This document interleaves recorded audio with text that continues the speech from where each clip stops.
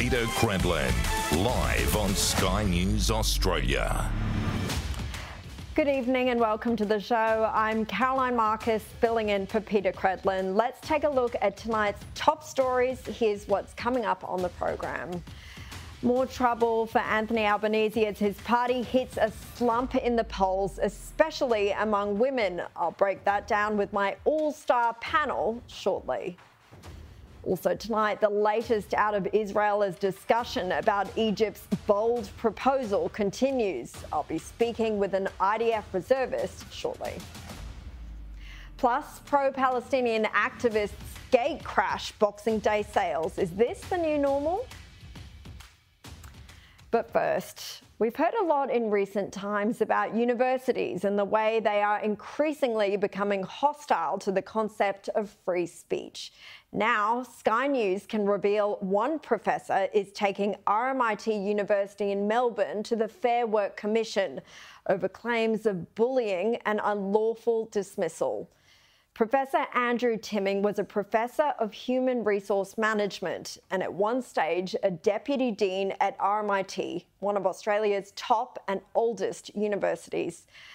He enjoyed a fairly good relationship with his colleagues, that is, until he says a Twitter spat involving no less than two of the most controversial figures in modern culture internet personality Andrew Tate and climate activist Greta Thunberg erupted. Let's rewind to this time last year. Tate is a British American influencer and self described misogynist currently awaiting trial in Romania over rape and human trafficking charges. But in the week before his arrest on those charges in December 2022, Tate posted this tweet taunting Thunberg with a picture of himself in front of his Bugatti and boasting about his 33 cars asking for her email address so he could send a complete list of their respective enormous emissions.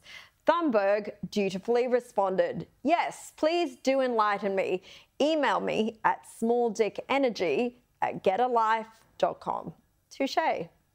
Thunberg was almost universally applauded on the platform over that riposte, or as the young people like to say, sick burn.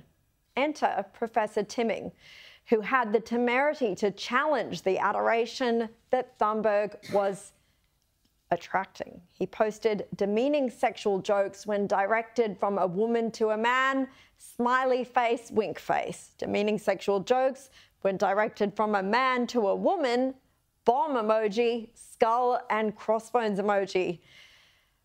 Fairly innocuous uh, observation, you could argue, on what could be seen as different hypocritical standards when it comes to the way men and women are treated, especially in the workplace.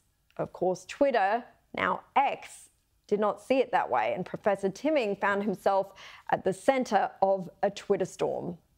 He claims the university threatened him with disciplinary action, and under pressure, he deleted his Twitter account. It wasn't only the tweet, though.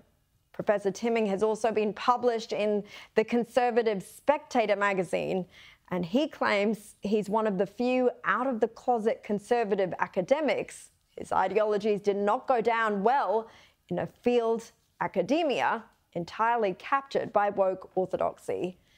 Eventually, after suffering what he alleges was vicious bullying Professor Timming launched a grievance in May this year.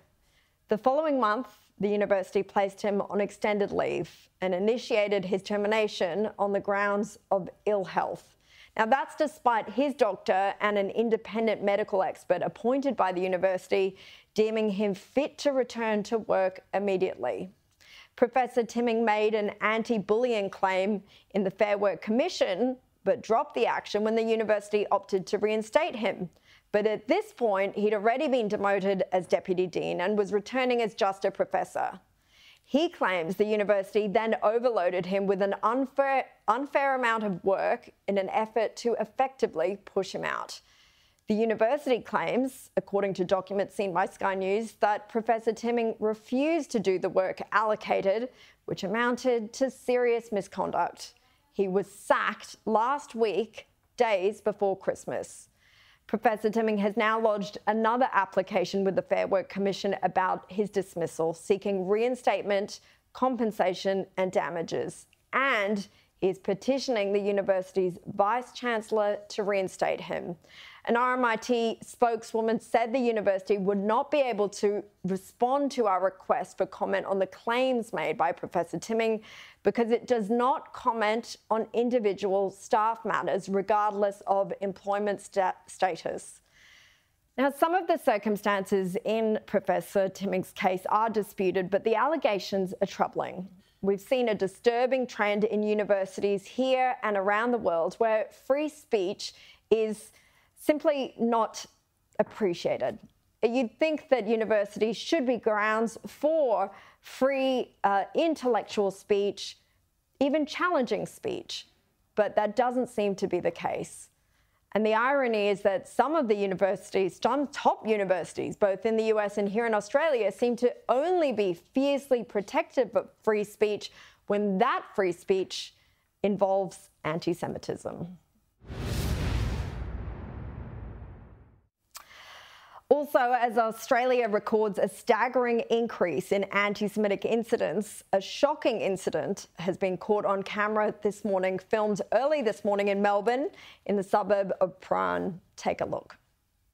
What are you guys doing? Outside. Just having cleaning up the community from bullshit.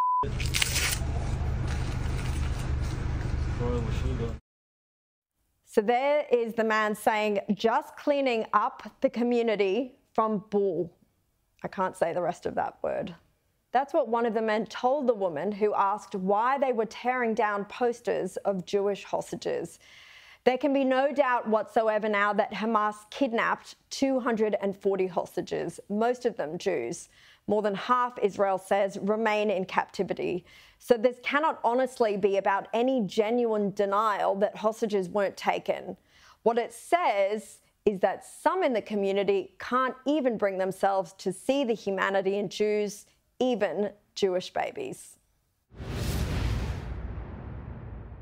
And now for the latest out of the Middle East. Israeli forces have expanded their ground offensive into refugee camps in central Gaza. The announcement of the new battle zone threatens even more destruction in a war Israel says will take many months as it vows to quash Hamas. It comes as Israel is considering an ambitious proposal by Egypt to end the war, which would entail the release of hostages, a ceasefire, and the creation of a Palestinian government of experts to run Gaza and the West Bank. Joining me now from the south of Israel is Nimrod Froman, a reservist in one of the IDF's artillery corps special units and a peace activist. Nimrod, thank you. I'll start by asking you what the latest is on this war and the ground offensive that we're hearing about into the refugee camps. Hi, thank you, Caroline. Thanks for having me over. Um, yeah, well, I'm about to head to the base right now, and I I'm very fortunate to get my updates from the base. So they're they're sort of like the most up to date you can have. Um, I think that this war has several phases, and the Israeli government has said that many times. And we are now, well, pe- people have been calling it different phases. I still see it as the first phase, which is a phase in which the IDF is in a process of asserting, asserting control over areas from which the Hamas is launching attacks on Israel. Now, the first areas that the IDF asserted control over were strategic spots in the north of Gaza after, you know, we could move the population or ask the population to move to the south. Um, then we started asserting control in Yunis. And those areas are also where the Hamas launched the attacks of October 7th on us, and also where they launched rockets on us. And we still have rocket fire uh, to the center of Israel, not daily. It's reduced significantly because the IDF's mission is uh, successful so far, as difficult as it is to say, because this is a very difficult war for us. Uh, and the central Gazan refugee camps are one of the last few areas in which we need to assert control. Now, the way that the IDF is doing it is um, sort of like an area by area approach and therefore it seems like it's always expanding. But at the end of the day, the Gaza Strip is a finite uh, piece of land, and I predict that once uh, this part of the process will be over, then uh, the next phase will begin, which will be a far more surgical phase, and it will uh, optically let, uh, be less destructive. But I do hope it will continue to be destructive for Hamas uh, specifically. Okay, well, we've been reporting, as you might have heard, that uh, this proposal from Egypt to bring an end to the war has been put on the table. What is your personal view on this? Do you think that Israel or Hamas, for that matter, could seriously accept this proposal from what you know of it? Well, this, it's a great question. Um, and I can give my personal opinion about it. I'm 41. I grew up in Israel alongside Hamas, anyway, in many ways, and uh, built my family here alongside them. I was a teenager when they uh, exploded here in buses in the uh, 90s and the early 2000s. Um, and and, I, and as you said before, I was a bit of a peace activist and still hope to come back to being one after this war. Having said that, in Israel, um, Israel is no longer, Israelis are at the moment definitely no longer capable of differentiating between the Hamas political arm, which has sometimes existed independently of its military arm, and the Hamas's military arm. Since Yahya Sinwar took over in uh, the Gaza Strip, they have uh, been completely one and the same. In reality, they have been one and the same because the political arm also and the social arm also uh, managed their education system and radicalized them so heavily against Israel. And they do share the same charter. So at this point, after the trauma of October 7th, it's difficult for me to see how any constituency in Israel, voting constituency in Israel, uh, supports a solution whereby Hamas still exists. Uh, Having said that, uh, compromises are uh, things that you know situate endpoints that neither side is happy with. And you might hear the name hamas uh, but it may refer to remnants of their social and political arm that have no ability to weaponize radicalize and organize them against israel and that will be you know sort of like the lowest branch possible maybe for them to climb off this tree and end this war which is very bad for uh, for the gaza strip and for hamas in particular yeah, I guess, I guess, that would be a way of them saving face almost that they still get to be part of this. It, it's very interesting. I want, I want to take you though to footage that we've seen come out in the last day or so, a footage of uh, Gazan men being led uh, shirtless. It appears into a stadium by what is purported to be the IDF. Now, I don't think the IDF has verified or denied it at this stage. Can you explain what might be happening here and whether this video is authentic? Uh, you're not seeing what's on our screen, of course, but you probably have heard of, of the latest footage. Um, well, interestingly, I, I, am actually seeing what's on your screen. Um, I've seen this video, and uh, I don't know if it's authentic footage. I can't uh, confirm nor deny that. But you know, for the purpose of this conversation, uh, let's let's assume that it is, and let's assume that it is the IDF. I I just don't know. Um, but I can tell you from my experience, being in reserves for 80 days, uh, the, when when we say that Hamas is embedding itself in civilian population, I don't necessarily think that uh, the viewer perhaps understands exactly what this means. There are hundreds, sometimes thousands of Hamas operatives in the different areas that we are trying to assert control over and eradicate Hamas from, which is a, a legitimate purpose for this war after the October 7th attacks and Hamas's motivation to conduct them over and over again, as publicly stated by them we need to enter these areas from which we try to uh, move the population. And we didn't succeed to move 100% of the population in these areas. There's, there could be thousands, sometimes tens of thousands of people left in a city where there might have been a few hundred thousand. And when we say Hamas embeds itself in the population, we mean that it's operatives that are not underground, and there are many that do not use necessarily the underground systems and are there to attack us what they do is they ensure that the population within the town uh, sets itself up in uh, in closed areas. Um, they'll also like they might repurpose a school, and then on the news you'll see that Israel attacked a school. It's it's now harboring the the, the civilians of the town except that all of the Hamas operatives are among them. Yeah, So they enter these areas. Very easy Yeah. to uh, to try and com- uh, complicate it for Hamas because they, they operate this way. Uh, Nimrod, there's so much more I wanted to speak to you about, including your attempts to bring AFL to to uh, the Israelis and Palestinians, and we're going to have to save that for another conversation. I really appreciate your time, Nimrod Broman, joining us from Israel there. I'm going to move on now to our panel tonight. Uh, we've got two lovely ladies in the studio with me, Tina McQueen and uh, Prue MacSween. Thank you both for joining me. Uh, I wanted to bring you uh, some of the latest news that we've heard today. Um, this week, uh, we've heard that the Albanese government has uh, slumped in the polls and uh, in particular, it's lost ground in a key demographic, which has been considered the swing group that decides elections. It, Tina, in, in male voters, Labor leads the opposition by a slim 1%. Why would this be? Well, I think a lot of, uh, in every demographic, there's a bit of uh, voting remorse where um, everyone in every electorate now realising that Albanese sold them a pup. They're struggling, they're finding life very difficult. And most interesting, I found with the female demographic, I've been telling Liberal parties had this silly idea that if you put up female candidates, females will vote. That is absolute garbage. And finally, they're realising that that's the truth. What you need is good policies, policies that will help people that are really struggling at the moment, not the, the lies that Albanese is spreading around. And also the fact he's hardly been in the country. Everything's gone wrong for Albanese. And I genuinely believe the worst is yet to come for him, Caroline.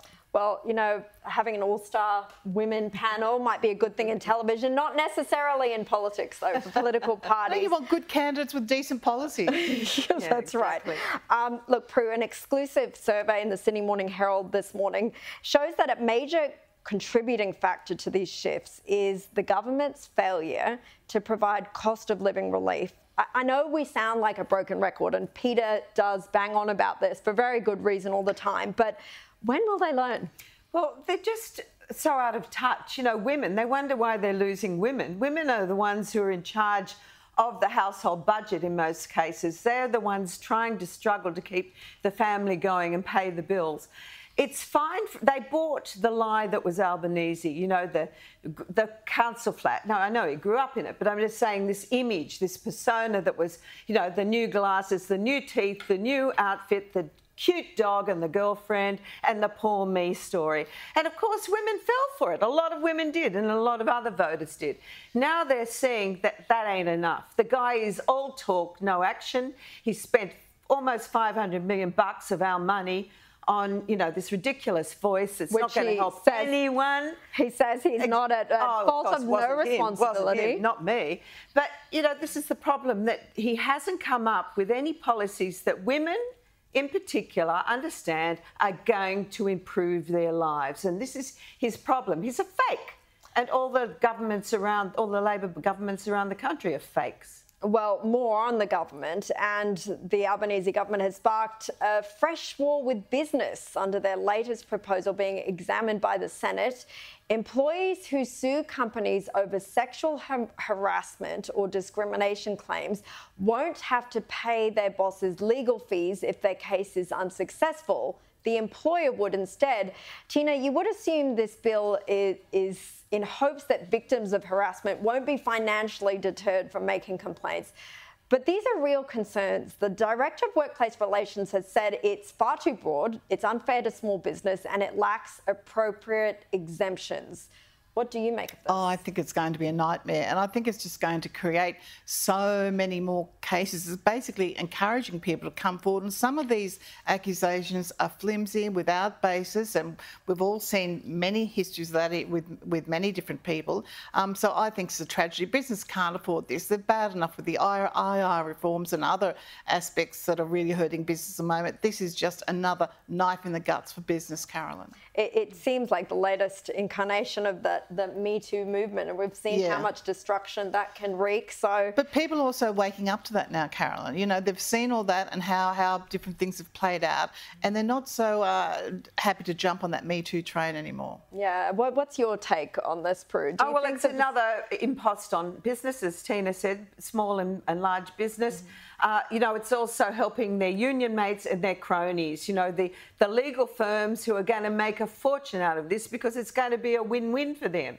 So it's really sad that, you know, small business is going to get to the stage as a small business owner. I think, God, where are the robots? I just want to employ robots or scale down your business because it's going to flow on. We're worried about the cost of living. It's all going to be passed on to the consumer. And this is where, you know, this is the hypocrisy of Labor who say they're trying to address biz- uh, the, the cost of living. They're not. There are laws uh, the lack of productivity incentives, and now this attack on small business, it's all and big business. It's all going to add to cost of living. I mean, uh, running a trial, let alone settling a lawsuit, can cost millions and millions. Exactly. I'm not quite sure uh, how businesses will be able to afford an influx of these mm. kinds of suits. Let's move on to another topic. And Chadstone Shopping Centre in Melbourne, the nation's biggest shopping mall, was targeted by pro Palestinian activists yesterday who staged a leaflet drop on the busiest day of the year. Tina, one of the letters that they dropped read, While you're shopping, bombs are dropping.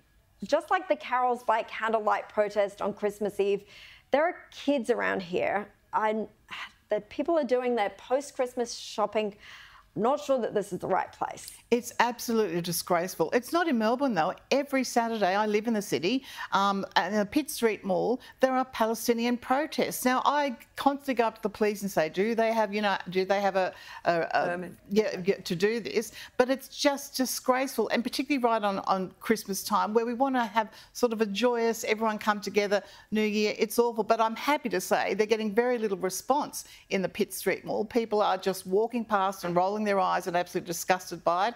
Of course, I've said my bit, that which I probably uh, shouldn't do in some cases because I'm, I'm going to get it back. I, but I can't possibly imagine that being the case. But it's so it's so frustrating. It's so frustrating, and I'm just sick of the Palestinian flags everywhere, up and down, up and down Pitt Street and Hyde Park. It has to come to a stop.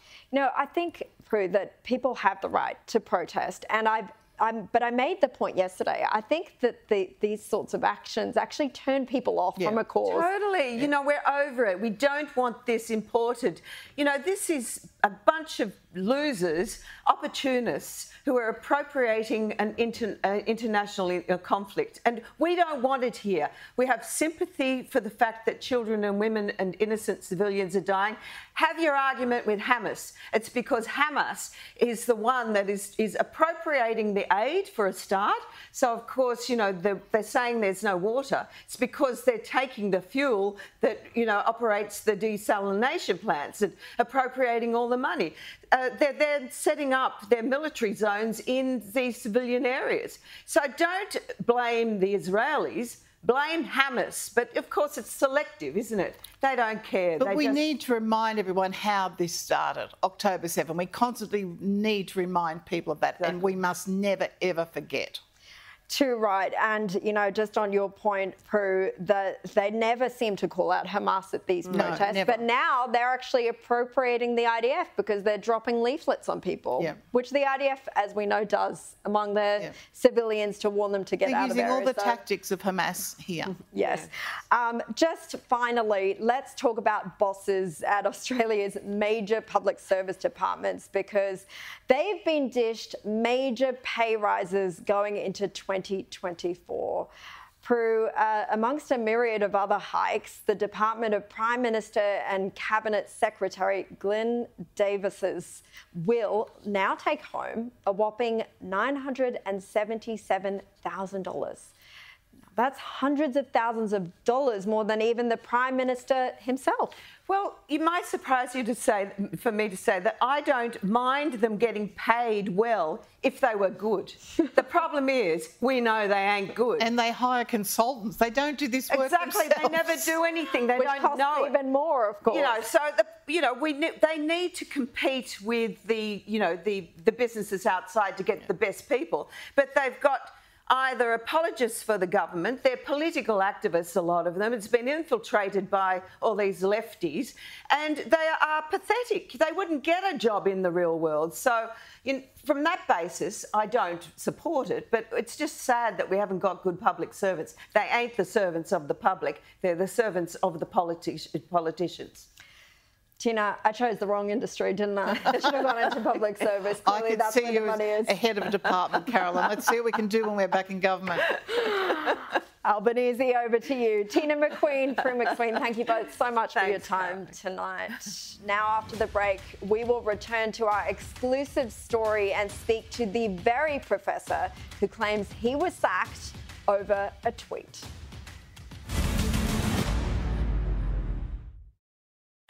Welcome back. I want to return to our exclusive story now, where a former RMIT professor is taking on the university after he was stood down days before Christmas. He believes he is being treated unfairly over his conservative views. Professor Andrew Timming joins me now. Professor, how are you feeling after your sacking?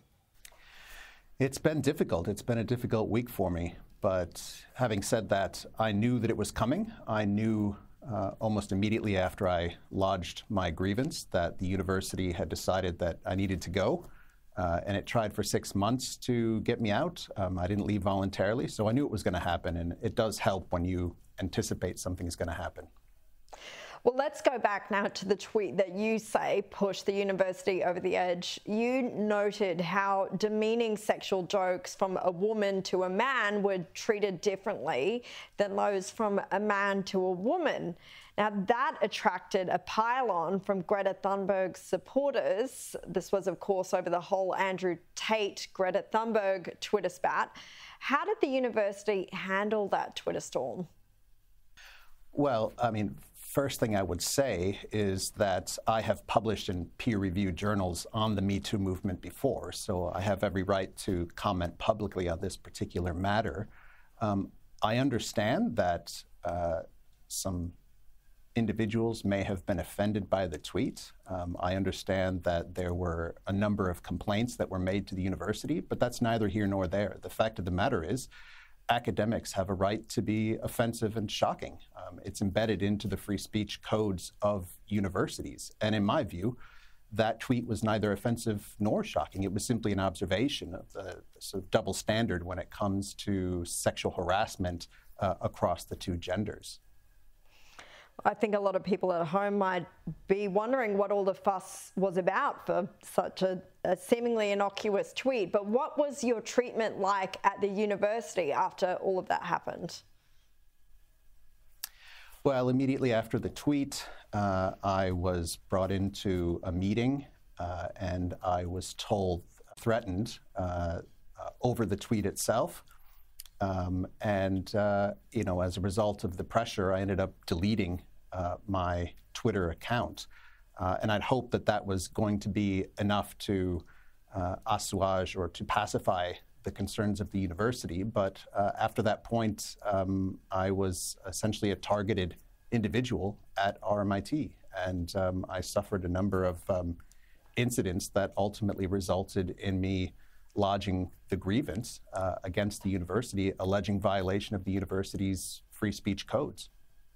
It wasn't just the tweet, though. You did have um, articles published, for example, in the Spectator magazine. Is it fair to say that you believe that you were essentially being discriminated against or punished by the university for being openly conservative? It's not easy being a conservative in academia. Uh, the reason it's not easy being a conservative in academia is that uh, most of my colleagues and most of university uh, administrators tend to be of the political left. Um, and it is difficult to be in an environment like that when your values don't align to theirs. When someone from the right, like myself, uh, looks at individuals on the left, um, I might think hmm, these people are naive or they don't quite understand the way the world works. But when people on the left view right wing people like myself, they don't look at me as naive. They look at me as evil. And when you look at an individual as evil, it's very easy to uh, dehumanize and, and mistreat. And I think that's essentially what happened. Well, the university's position was that you were fired because you refused to do work that had been allocated to you, amounting to serious misconduct. What do you have to say to that? I mean, look, just to give, I'm not going to get into the nitty gritty because um, there is a, a, um, an appeal uh, underway at the moment, and I think all the details will eventually come out. Um, but what I can say is that a week after lodging my grievance, um, I was stood down. Uh, when I asked why I was stood down, um, the reason I was given was that the university had initiated the termination of employment on grounds of ill health clause in our bargaining agreement. This is a curious thing because the day before, the university received a note from my doctor stating that Professor Timming is fit to carry out his normal duties now and into the future. And on the very day uh, I was stood down, I gave a normal presentation uh, to my colleagues, and they saw that I was fine. Uh, I was stood down for um, a few months. Uh, during that time, um, I was viciously bullied. Uh, I was sacked as Deputy Dean Research and Innovation. Um, the university's own doctor, who I was referred to through an IME, told the university that I should be returned to work with immediate effect. Um, instead of returning me to work with immediate effect, they just continued with the stand down and wouldn't let me back in. Uh, finally, I ended up taking them to the Fair Work Commission and the anti bullying jurisdiction. Uh, rather than face a loss in that jurisdiction, the university did finally relent and, and let me back into work in October of this year. Um, and at that stage, they uh, tried to throw a bunch of additional workload onto me that hadn't been agreed uh, earlier in the year during our workload discussions.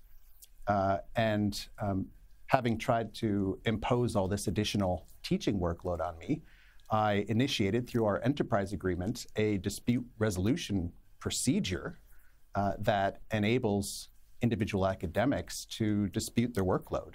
Uh, and um, this matter was pushed to the Fair Work Commission. Um, I followed all the legitimate channels to dispute that workload, but rather than listen to what the Fair Work Commission had to say in the matter, the university just decided that um, I was being terminated for not doing the very work that I was legitimately disputing through the enterprise agreement. So it's obviously unlawful, uh, and I have uh, every intention of holding the university to account. I will not go gentle into that good night, as Dylan Thomas said. Well, we'll go a little bit more into what you're planning with that appeal and the other action that you've taken in a moment. But I just want to get your view. I mean, we've seen so many cases recently, starting perhaps with Jordan Peterson over in Canada, uh, closer to home, Holly Lawford Smith, Peter Ridd, cases where academics have spoken out publicly about how they feel their free speech has been uh, infringed upon. What do you view as happening here in Australia and overseas when it comes to free speech on campuses? It's simple. Uh, free speech is under attack.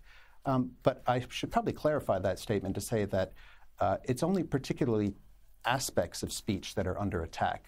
Um, I find that as long as you are toeing the the woke narrative, so to speak, or pushing the woke message, you can say whatever you want to say with essentially no repercussions. Um, but if you take an alternative view, uh, such as I do, uh, a view that uh, accentuates the, um, the benefits of conservatism and the benefits of free markets and free enterprise, uh, these views are very much viewed uh, with disdain.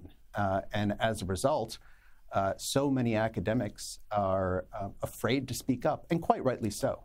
Why wouldn't you be afraid to speak up? I mean, look at what happened to me. Look what happened to Holly Lawford Smith. Look what happened to Jordan Peterson. There's any number of academics.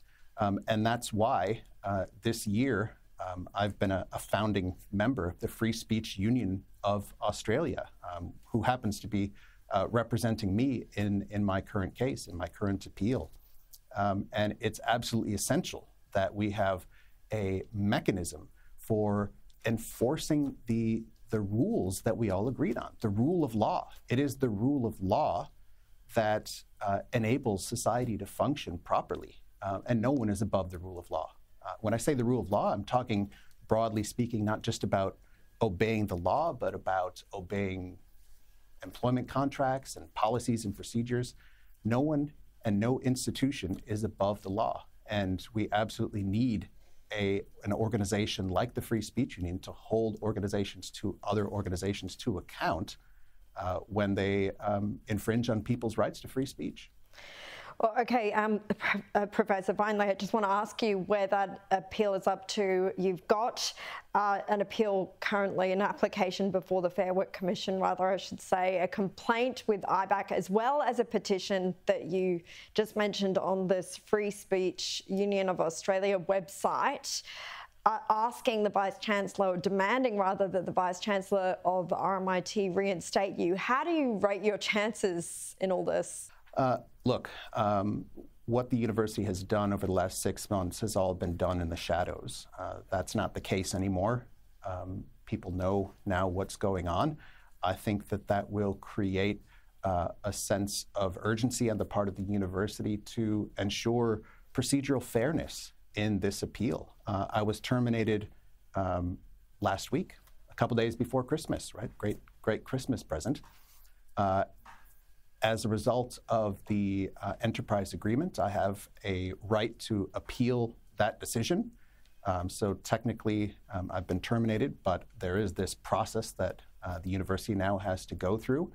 And um, I feel that uh, my chances at the appeal stage are actually pretty good. Um, I know the vice chancellor of RMIT personally. I've spoken with him about free speech issues, uh, and I believe he genuinely wants to do the right thing. You know, we'll, we'll find out, but I, I think he wants to do the right thing.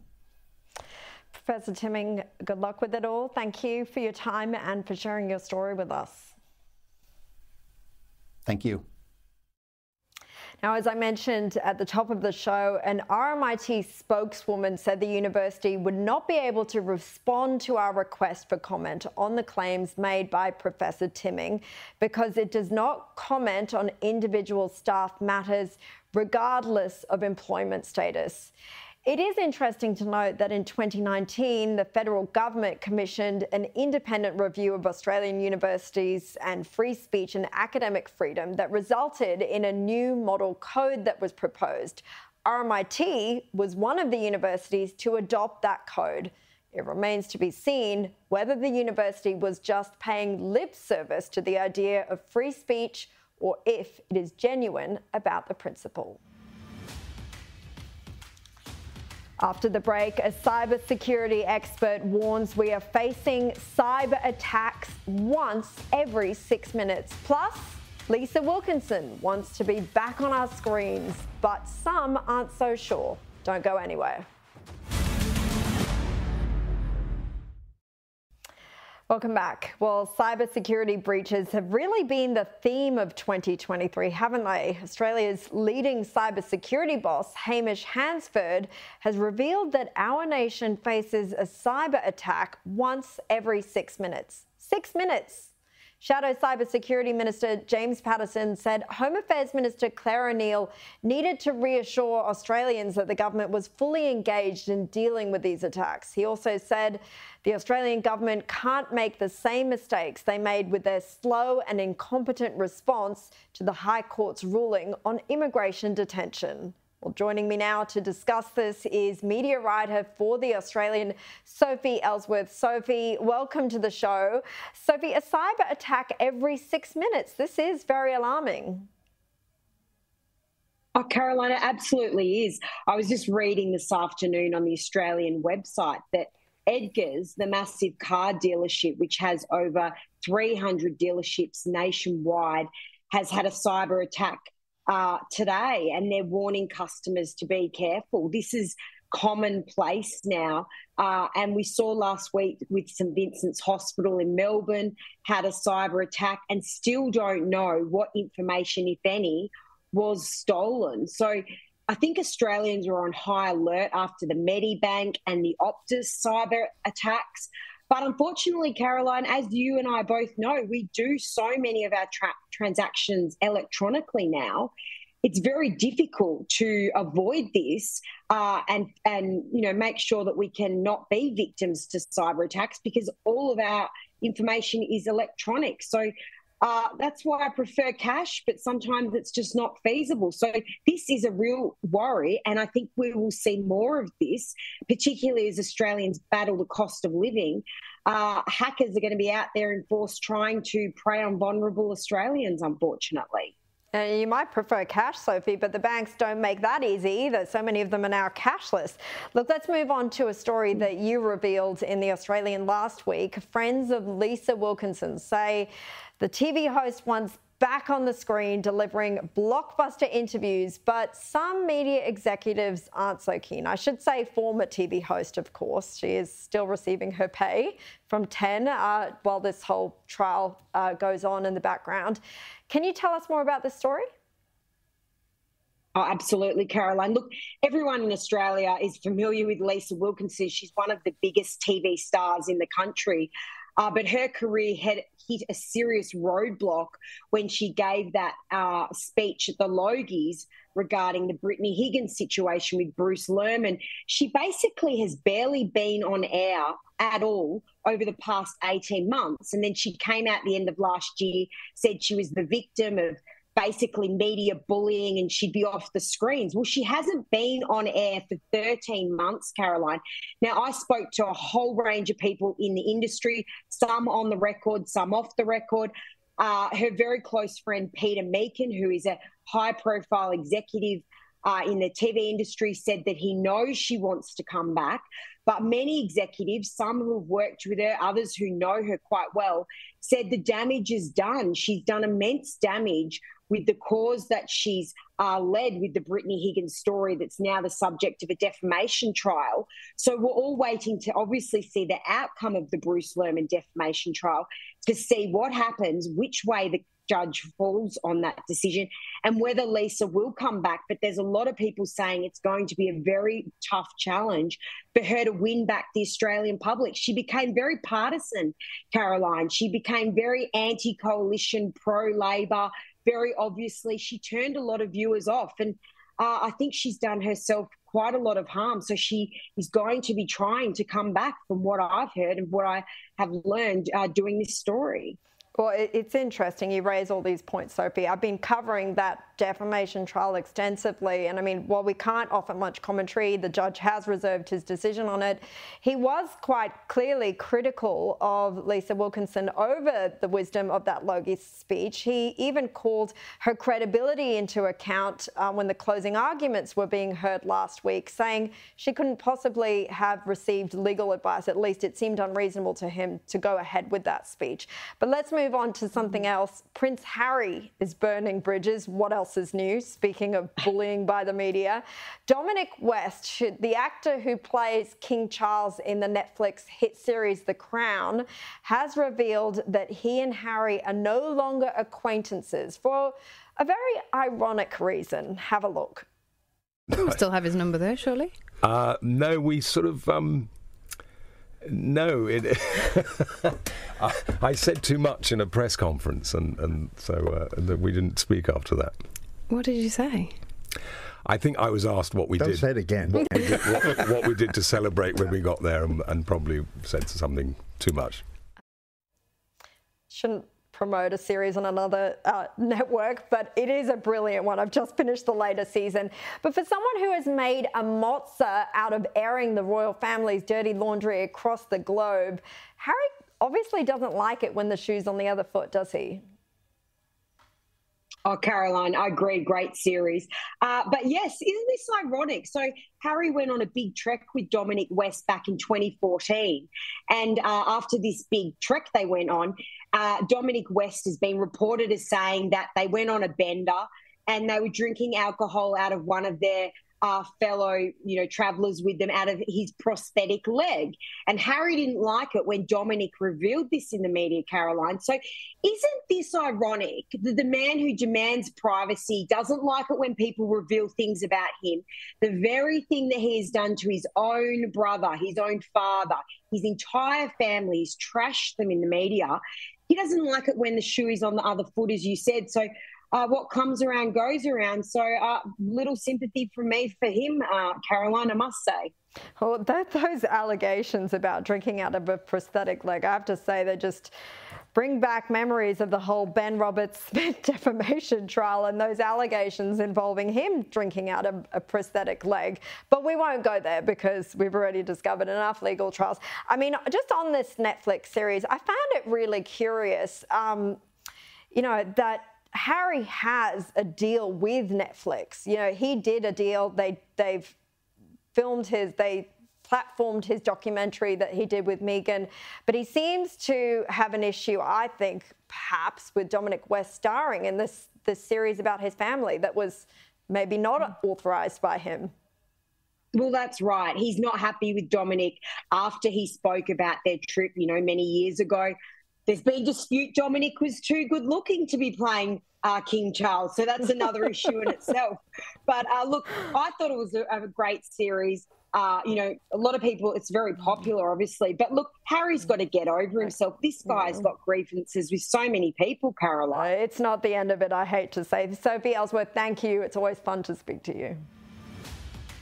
Okay, after the break, Australians are still splashing the cash despite the cost of living crisis. We'll get the latest data from the Boxing Day sales with a retail expert next. Welcome back to the program. Well, we know Australians are feeling the pinch when it comes to cost of living, but that has not slowed down spending this festive season. Boxing Day sales have seen thousands hit shopping precincts across the country as people try to snap up an end of year bargain.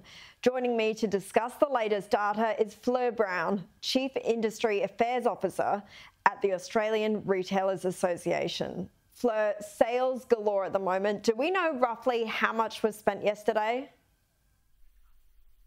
Well, the forecast for yesterday's sales event were $1.25 billion for that one day. Uh, and then we're looking at a $23.9 billion spend in the period to the 15th of January, which is known as the post Christmas sales period, uh, which is just slightly up on last year. How does this compare to Black Friday sales in November? Well, Black Friday sales are traditionally used for pre-Christmas purchasing, uh, so that's a big driver. Uh, whereas Boxing Day sales are all about the clearances. A lot of people shopping for themselves and for their household. A bit of a different function. Uh, we have seen some of the Christmas spending brought forward as people look to get a bargain this year. Definitely feeling that pressure on their household budgets and trying to reduce the overall cost of their uh, their shopping. Uh, and with Boxing Day, we know many Australians have saved up uh, purchases for that period to try and get some of the necessary household items off their shopping list. How does it compare to last year? How much of an increase are we seeing? Yes, we're looking at just over a percent uh, of increase year on year. So we would call that quite modest. It's still a really good result in a cost of living crisis. So I think retailers can take some confidence from this as they head into the new year. Uh, however, there are, of course, many uh, nuances within those numbers. So the cost of doing business has increased enormously for many retailers, and that's factored into you know that increased spend as well. How important are Boxing Day sales for retailers as we head into the new year? Boxing Day sales give a sense of momentum as they head into the January period. Uh, Christmas trading is absolutely critical. Many discretionary retailers make up to, to two thirds of their profits during that time. Boxing Day is also essential uh, as a clearance event just to clear out that old stock and make way for the new and to give that confidence boost as they head into the new year with a you know with a new offering. What are shoppers usually going for when hitting up the sales this week? Well, there's a really diverse range of clearance items on sale. You can get things in every category, of course. Uh, almost every category has stock left, and uh, particularly for fashion and clothing items, it's really important for retailers to clear out that stock to make way for the new, uh, the new look, the new trends, the new clothing and uh, accessory items for the new year. And so that's that's a really big factor in many of the shopping exercises amongst Australians for the Boxing Day and uh, ongoing sales period through to mid-January. Fleur Brodie, thank you. And thank you for your company tonight. The Bolt Report is up next with Gary Hardgrave. You'll see me again right here tomorrow night at 6.